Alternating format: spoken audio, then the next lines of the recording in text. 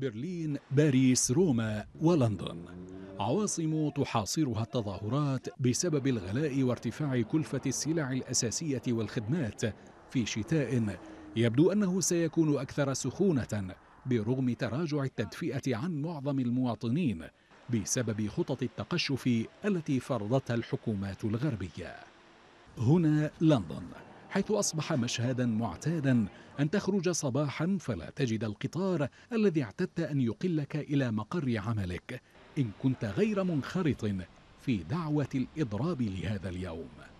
فسلسلة الإضرابات التي تشهدها بريطانيا وتؤرق الحكومة تضاعفت منذ اندلاع الحرب في أوكرانيا وبعد أن عانى البريطانيون من أزمة كورونا التي تركت ندوبا غائرة على جسد الاقتصاد البريطاني. ما جعل رئيس وزرائها الأسبق بوريس جونسون يستقيل خلفته ليز تراس التي لم تستطع هي الأخرى أن تقدم ما يخفف من وطأة هذه الأزمة على الشارع البريطاني. والآن تضع مستقبل ريشي سوناك على المحك.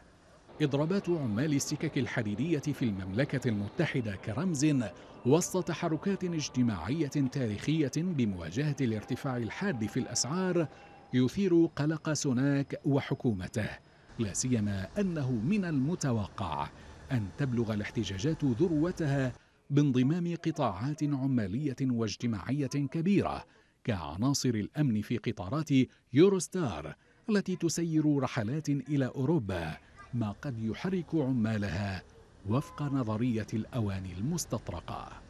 الإضرابات شملت أيضا عناصر حرس الحدود الذين يكشفون على جوازات السفر في المطارات والعاملين بقطاع الصحة. قطاعات تعاني ما يعانيه عمال السكك الحديدية في واحدة من أكبر موجات الاحتجاجات التي تشهدها بريطانيا.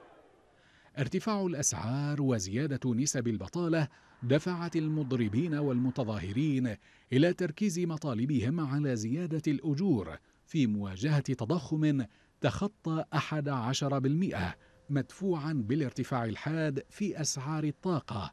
فعلى الحكومة أن تضع الحلول وللمحتجين أن يرفضوا.